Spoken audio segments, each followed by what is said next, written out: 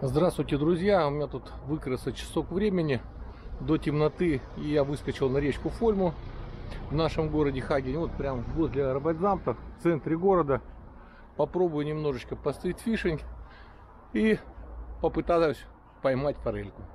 А, Друзья, буду я сегодня гонять палочку студия Мини-Гиши. Женя Соловьев мне дал погонять свою палку. Э,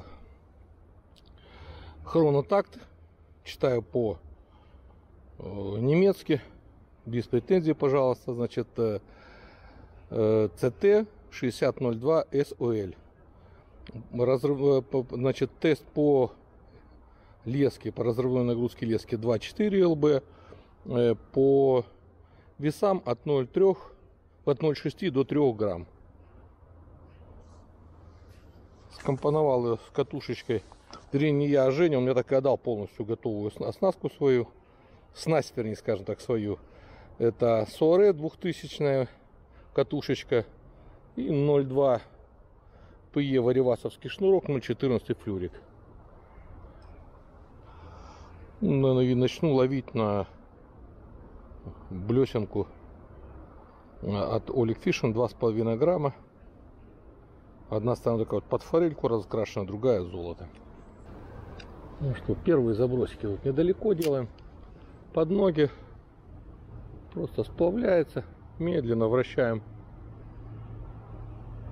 катушечку и блесна просто сносится течением. Ну, естественно, подыгрываем.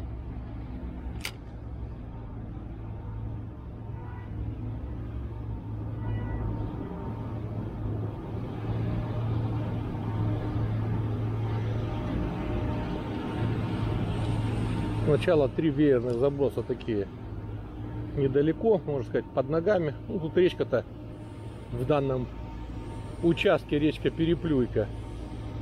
Потом кинем чуть дальше серединки сейчас. И пару забросов. Потом под стеночку и опа, вот была поклевочка. Видел я, форелька стукнула. Небольшая форелька.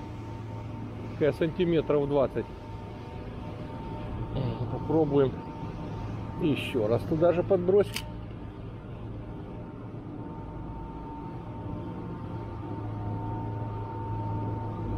Не, все, попробовала. Приманка несъедобная, больше не хочет. Ладно.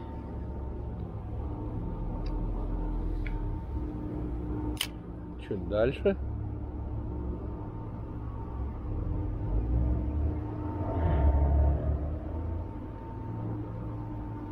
Тут где-то километр выше по течению. В прошлом году э, был пожар на химическом предприятии. И в речку было сброшено очень много химикатов.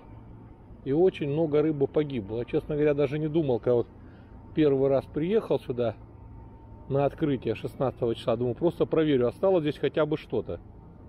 Нет, оказалось рыбка живучая. Опа, опять выходила. Видел, маленькая форелька выходила за блесной. Рыба оказалась живучая.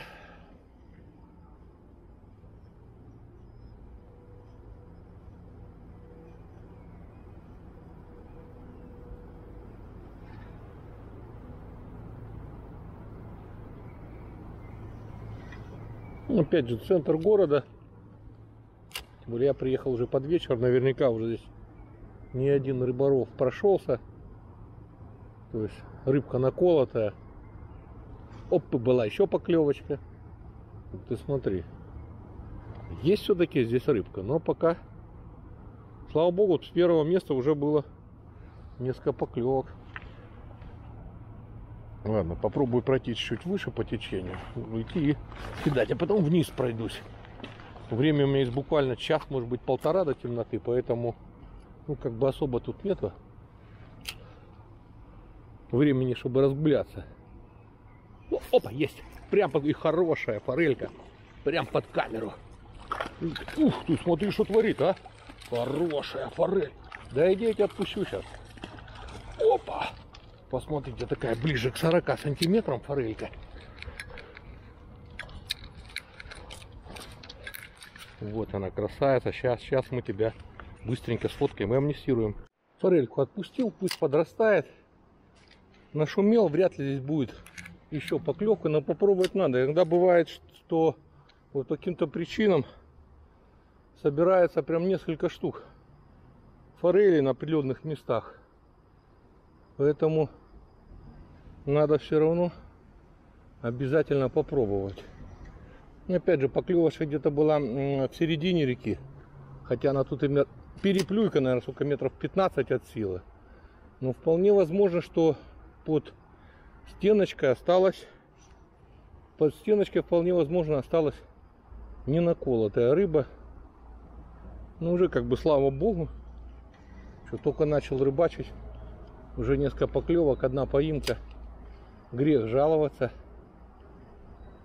учитывая на условия, в которых приходится... Опа!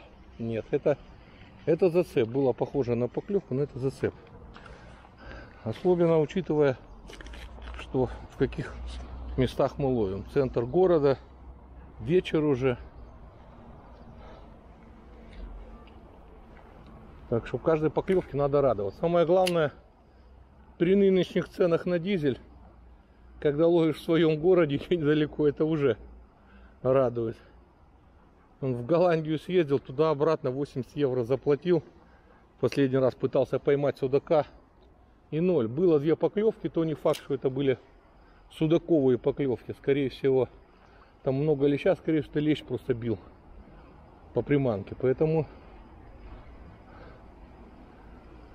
водоемы свои, конечно, домашние надо беречь. Рыбу я здесь уже много лет отпускаю, не беру.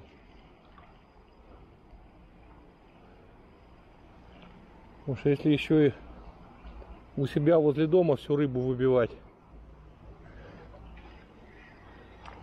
то что потом делать будем? Поэтому вам, друзья, советую, если есть возможность, понятно, если рядом нет наблюдателей, которые вас могут спалить, то рыбку лучше все-таки отпускать, тогда есть какая-то вероятность, что вы сможете опять ее поймать через какое-то время. Проводил сейчас опять был ударчик. Перевернула блесну. Но, судя по всему, совсем небольшая форелька. Слава богу, что она еще здесь есть. Конечно, не сравнить. Когда я в 2004 году вступил в это рыболовное общество, Тут рыбы просто было море. Ну вот это именно центр был закрыт. Ловили немного ниже по течению, но либо выше там потом, когда вот открыто был центр, когда уже открыли центр. Там достаточно было на 2-3 часа выйти и там поймать 20-30 форелей ничего не стоило. Ну, к сожалению, сейчас времена совсем другие. Рыбы стало в разы меньше. И здесь все-таки в первую очередь, я считаю, это большое количество кармаранов, нырков этих, которые выбивают эту рыбу на ямах. И второе, конечно, это экология. Что бы тут ни говорили, Германия следят за экологией. Вдоль речки стены заводов и постоянно из труб что-то сбрасывают. На прошлой рыбалке я шел, прям нефтяные пятна шли. Вот вам и показатель отношения к природе. Не так все это гладко.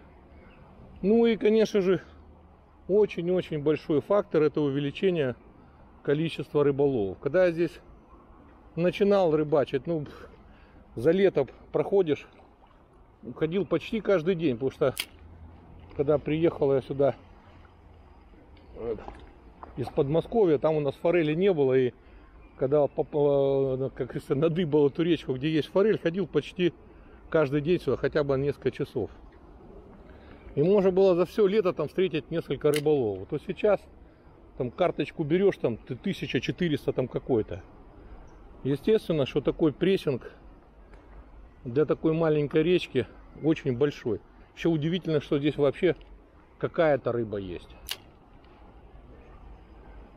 Причем, к сожалению, большинство рыболовов э, забирают размерную рыбу. А есть такие, которые и неразмерную забирают. И, естественно, рыбы становятся все меньше и меньше.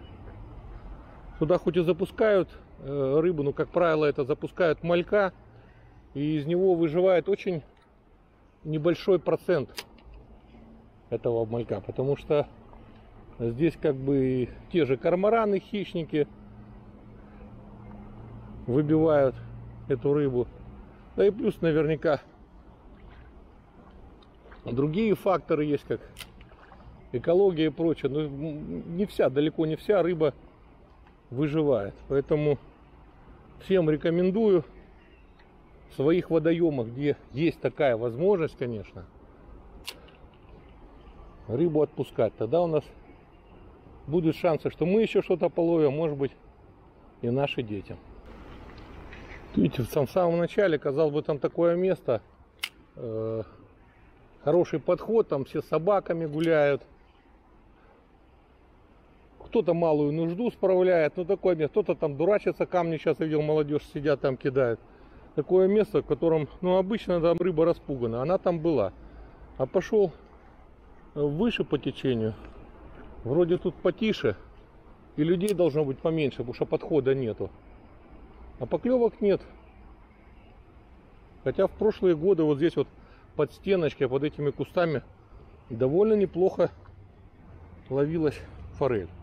Экология, сами видите, какая. Коляски, вот эта грязь. Чем дальше, чем становится хуже.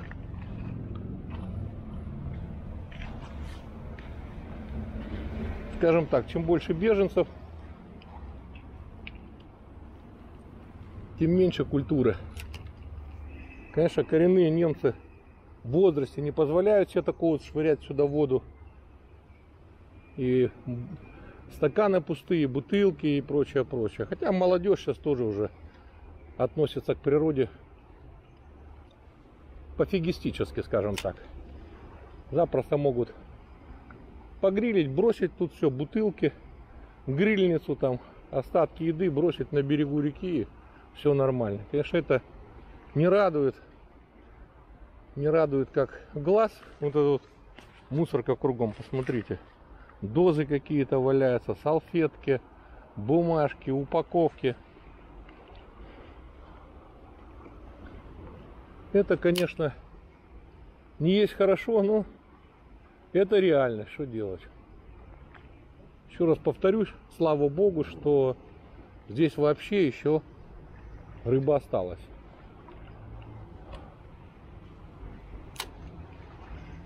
Забрасываю прям под стеночку, под кусты, там прошлые годы всегда стояла рыба, и только начинаешь проводку, так упала приманка, и уже идет поклевка. Ну, видать, не вся выжила после прошлогодней химической атаки.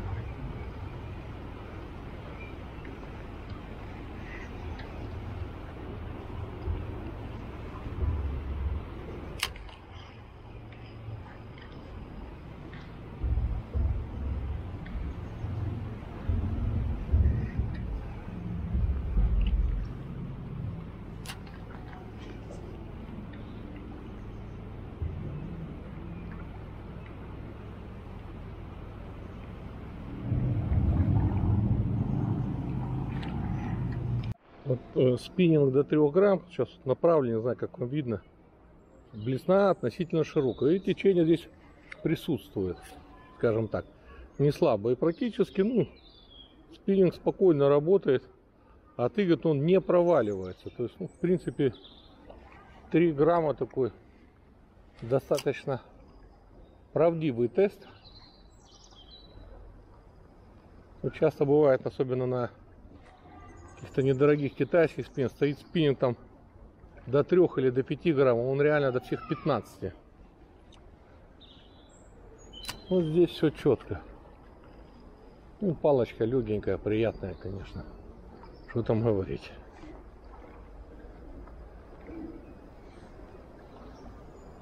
С одной стороны, как бы эта палка не для течения, но здесь как бы мелко, течение оно не самое быстрое, скажем так, поэтому вполне комфортно на нее здесь ловить. У меня были еще сомнения, думаю, не мягковато ли она будет. Нет, спокойно можно ловить на реке. По крайней мере, вот на такой, как фольма наша.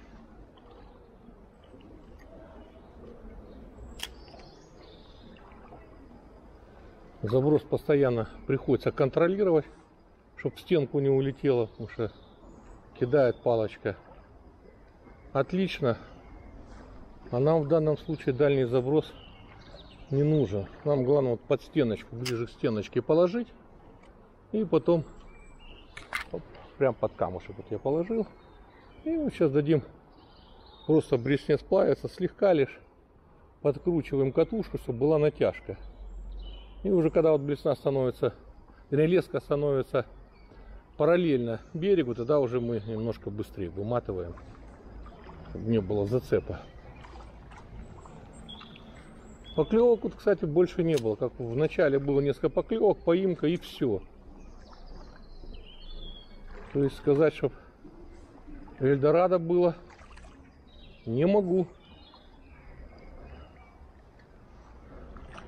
Ну, в принципе, это уже несколько дней днем температура там поднимается ну, ближе к 20 градусам, скажем. Естественно, что и растет температура воды. И э, форель, ну, по идее, должна быть более активна.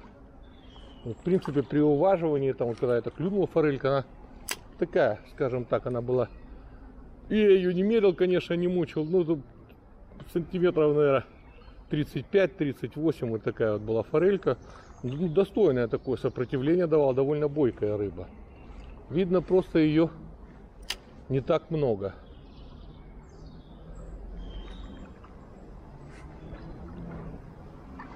Либо наколото.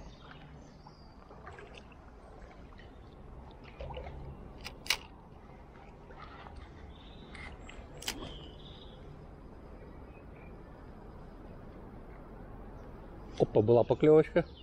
Но опять что-то мелкое клюнуло. Ну вот посмотрите, молодежь что творит, видите? Поплыла упаковочка.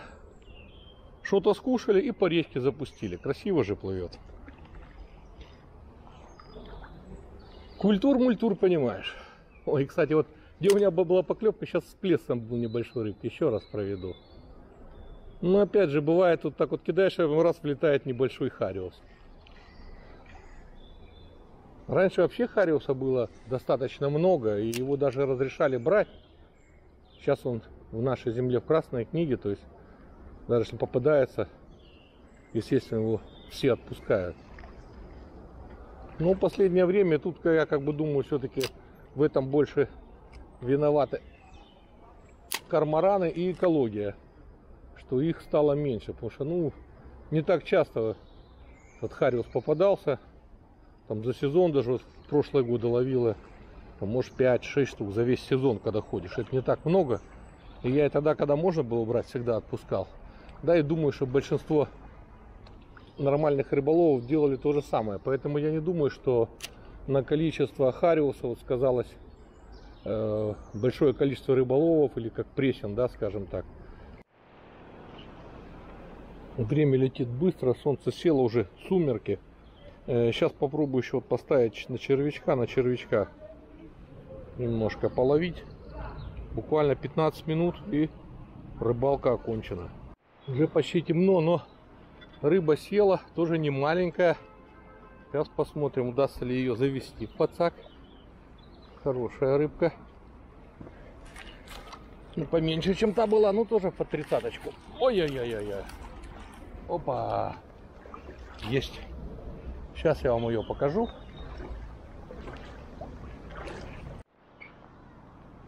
Друзья, вот такая вот форелька. Не знаю, как видно, потому уже сумерки. Вот он белый червячок, ну, сантиметров 30 форелька, супер. Мы эту тоже, тут палка еще какая-то попалась. Мы эту тоже сейчас красавицу отпустим. Давай, иди. Ну что ты, давай, уходи.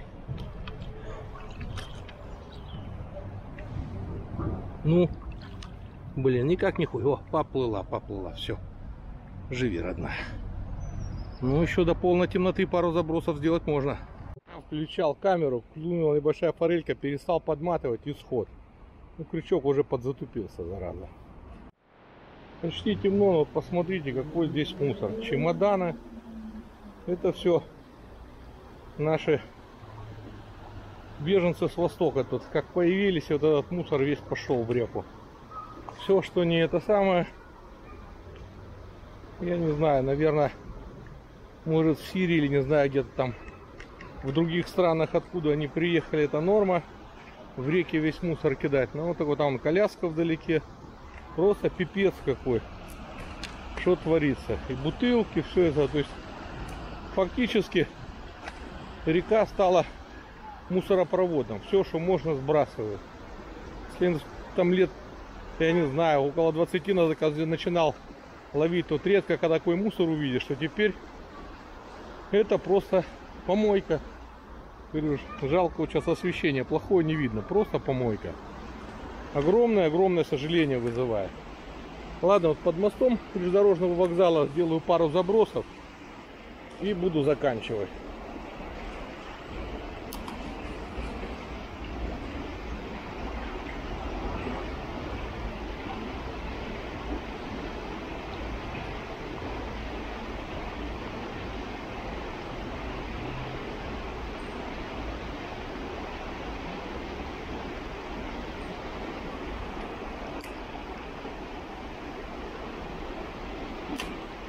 Скорее всего, просто уже темновато и форель не видит приманок. Это все-таки не ночной хищник, хотя и попадается ночью тоже. Но все-таки в основном охотится форель в светлое время.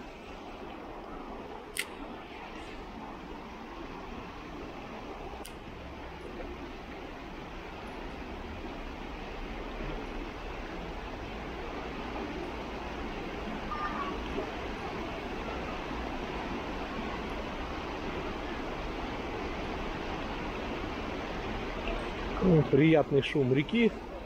Все, буду рыбалку заканчивать. Вот такая вот красотища. Две рыбки поймал. Несколько поклевок, один сход. Рыбалка удалась. Плюс палочку от студии мини-гиши погонял на реке.